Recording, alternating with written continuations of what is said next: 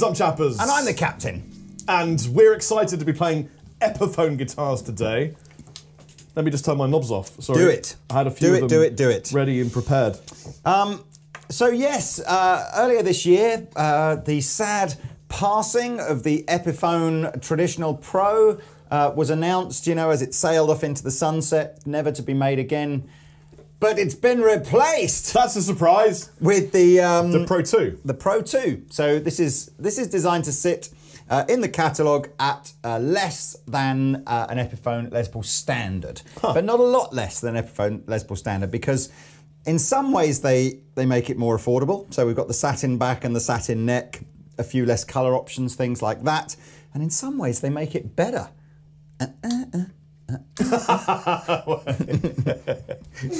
Um, so this is like a 370 pound guitar. I don't think it's available in that many colours. It, it may literally just be these two colours, but again, I'll put a link in the description below and you can find out. So you've got a sort of a Coffee stained. tobacco burst, like, you know, the slash kind of Burnt vibe. around the edges lasagna. Not sure what this one's called. It's like a sort of a cherry, it's like a dark cherry burst, isn't it? Or like a honey burst, maybe. Honey could I be don't know. honey burst. There's lots of paper on it though. It says It won't you guaranteed. It's guaranteed. Got, to be a guitar. it's got black and white pictures, so you know it's an old thing. Um, so we've got like the open coil pickups. It's it's just a it's just a different take on a Les Paul standard, but they call it the traditional Pro 2. And it's a thickie. I guess the first thing that Rob and I both noticed when we picked these guitars up was definite 58 inspired Oh yeah. chunk of a chunker here. Yeah, it's got a big old neck on it, and it's. I mean, for Yeah. me, it's a little bit too big, but I think um, a lot of people will enjoy the girth. If you're a if you're a girth seeker, then it's definitely. he's definitely a girth seeker. then it's definitely something that you're gonna you're gonna enjoy. It's as with all big neck guitars that I play. It's the problem is the initial 60 seconds. Right. you know, of like, oh, and then, and then once you're used to it, you just end up going, yeah, I'm fine. This is. There's so many, you know, what, what, like, you know, sort of. There's a um, line. No, I was just going to say there's so many similarities between playing the guitar and, and other things in life. Right. Um, but yeah, I, I'd so this very much feels like one of the, the more classic big Gibson necks that you would find, you know, typically inspired by the sort of the, the sort of the earlier Gibson guitars.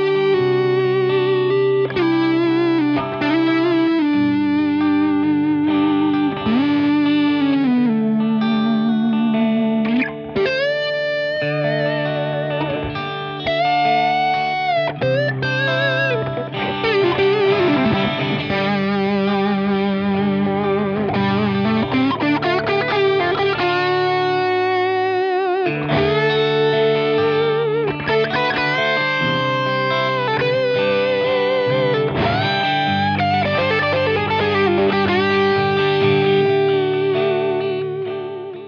a satin finish and it's an open like pore that. finish as well. So it's kind of got hasn't got the smoothness of like say a, a maple satin finish um, because I guess the wood itself has got more texture to it. Yeah, but I, I much prefer the feel. I think it's it nice. great. It is nice. I think it's one of those finishes as well that the more you play it, the more kind of naturally smooth and slidey it Yeah. get. Oh, for sure, it'll absorb Um, your oil.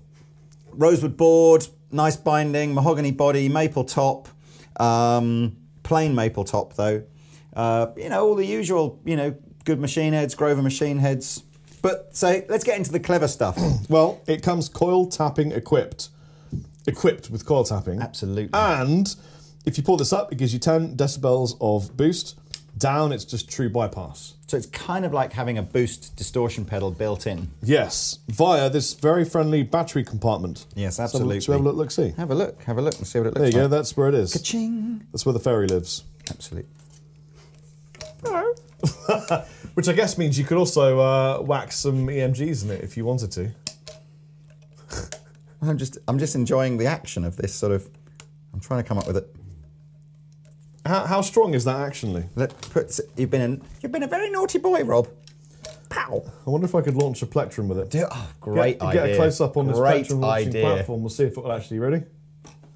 Whoa! I used to have a game like that when I was a kid. Catapults. catapults, yeah. Wasn't Crossbows and catapults. Crossbows and catapults. Oh, And big up the crossbows and catapults crew. My mum, when my uh, parents got divorced when, we, when I was quite young, and the first house that we lived in after that, my mum literally didn't have two pennies to rub together. And she, one of the little nice things that she'd got from before was this beautiful uh, crystal set, like decanter and glasses, and everything like that.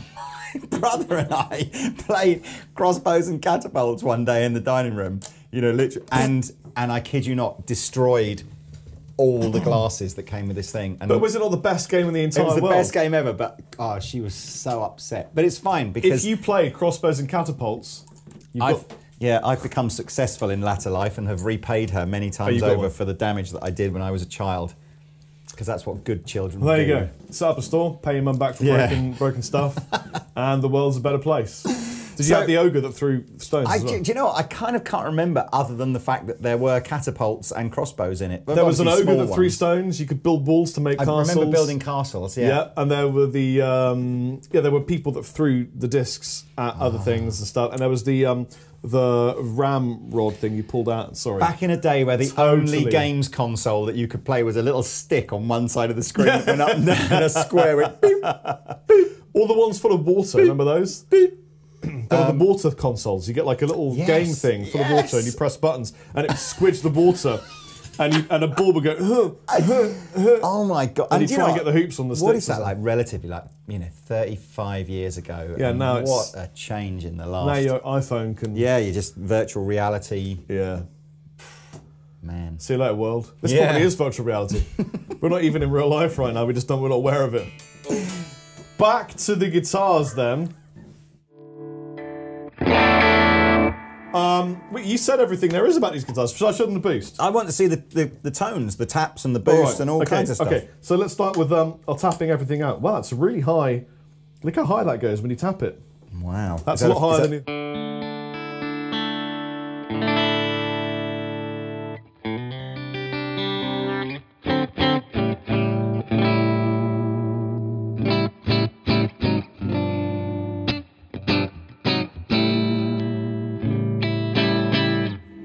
I, love that.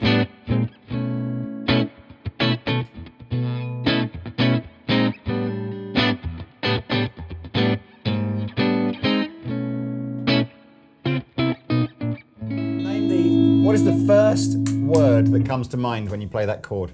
Pete. Luther Vandross. Oh, Luther that's two- Two, words. That's the first word that comes to mind when you play that. Can't help it. Okay, so uh, bridge.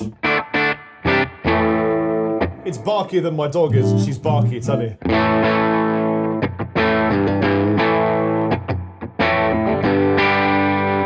Neckety neck.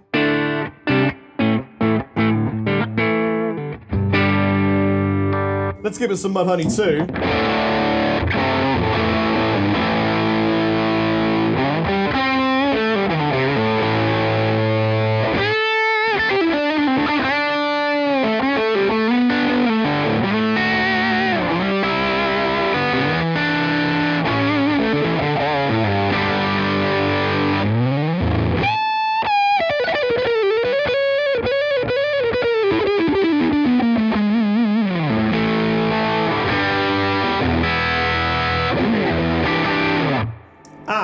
If you add in the. Actually, this is probably better off on a rhythm sort of sound.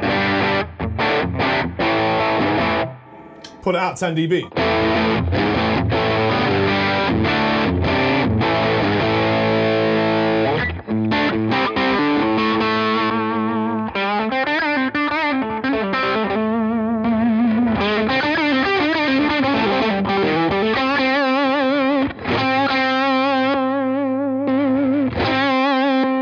Like Guthrie Govan once said, why would you ever want it not on? You know? you remember that? So, uh, yeah, there are Nico Pro uh, humbuckers here, so kind of cool sounding pickups. Uh, what else is uh, interestingly the, the internet spec suggests it's a 15 dB boost, and the sticker on the guitar suggests it's 10% 10 dB boost. So I, I would guess that it's probably 15 dB, and they just didn't have a 15 probably dB 12.5. sticker. Let's take probably an average. 12.5. Everything else about it's very Les Pauly, really. You know, you've got your uh, 24 and three quarter inch scale length, you've got your 14 inch radius, so sort of fairly flat fretboard. Is it wrong of me to Um, wish that they had the same headstock as a Les Paul? Do you know what? I wonder. I don't know if that question's ever been answered. I mean, it's a, it, the the brake angle on the um, Epiphone is slightly different to a Les Paul, but I know I, I think you're talking more about the shape, aren't you? You'd rather Yeah, have the. I just I wish it had the same headstock as a Les Paul. Do you think there's not an element of that's how Gibson? Sorry, keep, as a Gibson. yeah, that's how Gibson keep the. Well, it it should be the spec, not the shape of the headstock. Ah, it's just me. If, if I had a if I had a Gibson headstock, I think I'd love it more. Yeah, that's it's bad. Every- me, everybody says that. Although, to be honest with you, given the amount of people that draw attention to the fact that they prefer the Gibson headstock to the Epiphone, I've never looked at an Epiphone Les Paul and a Gibson Les Paul and gone, "Oh yeah, headstock looks much." I don't know. It just doesn't register in my brain. Yeah. I just just don't see it. Um, I just wonder if it's because it's it's two separate. It, but Epiphone's owned by Gibson, isn't it? So the, the, the brief, very brief potted history of Epiphone is it's Here we a- go. It's a very old firm started by, unsurprisingly, a, a Greek uh, immigrant to America um, uh, who was a guitar repairer, and it was his son uh, Epi. Uh, I forget what the, the, the guy's. Um, Did he phone up someone and say, "Look, I got this idea, no, maker"? phone is uh, the Greek word for sound. So Ah. it was epi and phone was his thing. And he was making big jazz arch body guitars. Anyway, so he was quite successful in the early 20th century and then less so. I think, you know, he got kind of, Gibson just kind of became the guitar of choice and he was struggle he was struggling and then, and in the end he sold his uh, business to Gibson and uh, for a while Gibson just mothballed it and didn't redo anything and then obviously Right. more recently I say more recently, you know, back in the 70s, they sort of revived it as the Far Eastern brand that they would uh, use. And so some of the guitars in the Epiphone range are um, remakes of original Epiphone guitars, like Right. Casino, for example, was a, an Epiphone guitar. It's a Greek Greek brand. Wow. Uh, well, I mean, it, well, its heritage is it's Greek. heritage, yeah. Probably can't keep that bit in there. If you're tuning in right now to wonder why Lee is uh, is laughing, that's because the rest of what was just said has completely been cut out by Rory. Thanks, Diz. And uh, it's because it was massively Oh. inappropriate. I don't think it is. Is it inappropriate? No, it was just funny. I want to hear kind of what my guitar sounds like through my amplifier using all the splits and taps and everything, just because it's a bit different. If you ever want to start a law firm, Yeah. could you call it Splits and Taps? Yeah, why not? that would be really good. I was going to start my uh, law firm in Norwich and call it Norfolk and Chance. Hmm? anyway, this is the neck pickup. Um, for those of you that are perhaps new to this channel and thinking, who are these two imbeciles? Um, I'll just explain. Essentially, when you what's happening here on a humbucking pickup, when you pull, it's fairly normal on a lot of guitars to be able to either reduce the number of windings uh, that go round the pickups, which is called a coil tap, or split it completely back to its you know single coil form. Uh, what does this say? It is a split or a tap on these. It says here, it's the coil tapping equipped. It says coil tapping. So this Yes. is this again. In fact, there's an easy way of finding out. Hum. I would say it's a split. People always, always get the, the word tap and split confused and they sort of interchange them because the ultimate sound that you get out the end isn't really that different. So it's almost semantics. But you get a hum when you- when you But of down, course, if, if you were to coil tap it and still it still remain as a humbucker, you wouldn't expect to hear that slight. You're right, you're right, you're right. noise. So you're I saying that it might- Gibson are, uh, Epiphone are wrong? Oh, it's just specs. It's He's because saying I- Epiphone are no, wrong. I think it's because so many people just go, "Oh my god, man, are we really still having the debate about is it a tap or is it a Well, split?" you are. Look at Yeah, you. I suppose. Anyway, so there we are.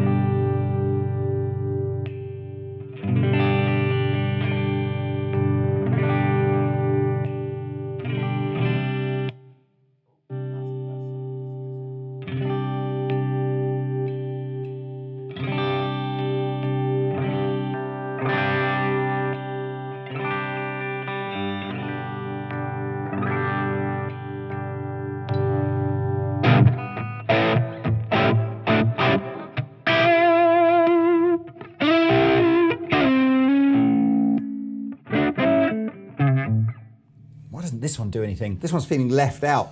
Please pull me. Sorry, Mr. Pot. You've been just, you're just a normal Like a- one. like you're not two one of the special children, I'm afraid. You're just a normal, normal volume. Please pull me like a 2 p.m. Er, you know, the hang, hang around outside the club. You know, wait, waiting just to get a The taxi 2 home. p.m. The 10 pint 2 p.m. Er, the 2 p.m. when, when people do the 2 p.m. sweep, you know. Oh, no. Oh dear, oh dear. That's been a long time since those days. Didn't really show you the tone controls.